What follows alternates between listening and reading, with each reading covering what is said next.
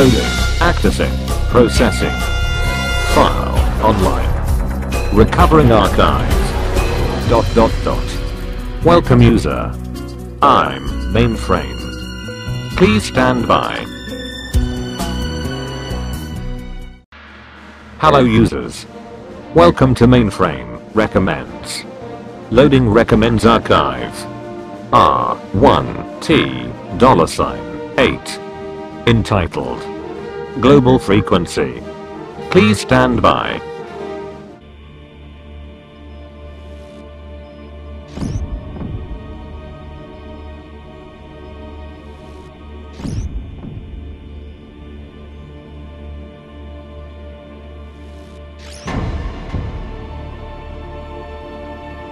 Global Frequency is a 2005 on-air TV pilot.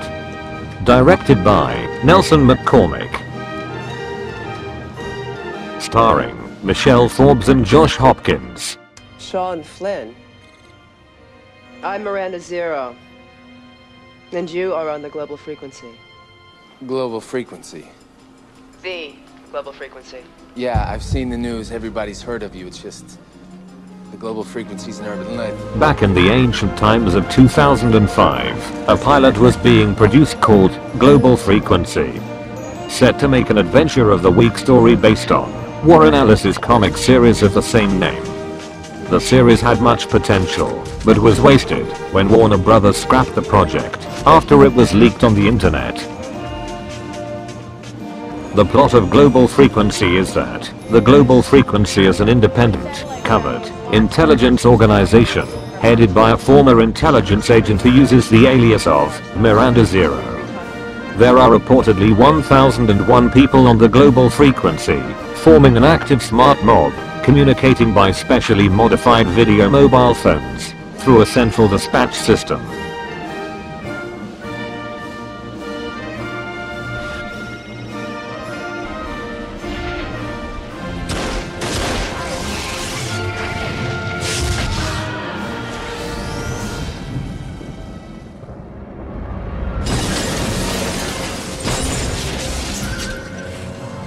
It should be noted that Global Frequency is much like the Fox network TV show, Fringe, and the X-Files, often investigating or encountering strange activities that must be dealt with.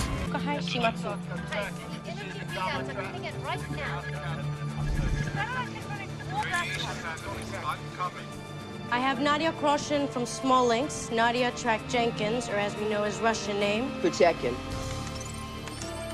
Puchekin was Soviet army.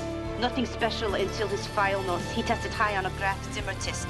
He disappeared after that. Uh, if I may, Uh, Dr. Kane, medical historian, retired.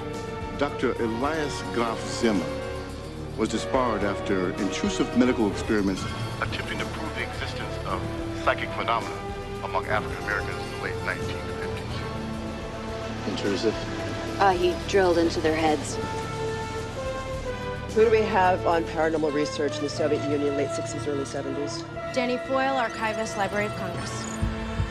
The Fortean Times had copies of KGB files from that decade. No names, but Nadia sent me Jenkins, Tekin's uh, serial number. Now it matches up to something called Operation Mercury. Mainframe recommends you view this pilot before it is lost to time. Please stand by.